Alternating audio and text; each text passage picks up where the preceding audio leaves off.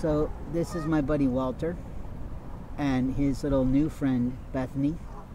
And Walter, as you can see, has a marvelous uh, type of a beak, and he may come and strut his strut, uh, strut his stuff for you. And you can see with Bethany when she's not busy trying to get the water off her, because I saw them earlier at the lake.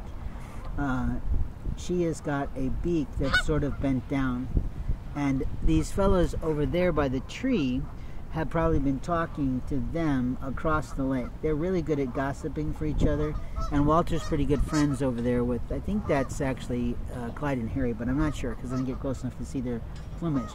But anyway, uh, you can see Bethany's pretty busy and she does not want to be photographed. There she goes. You can sort of see her beak has been bent down.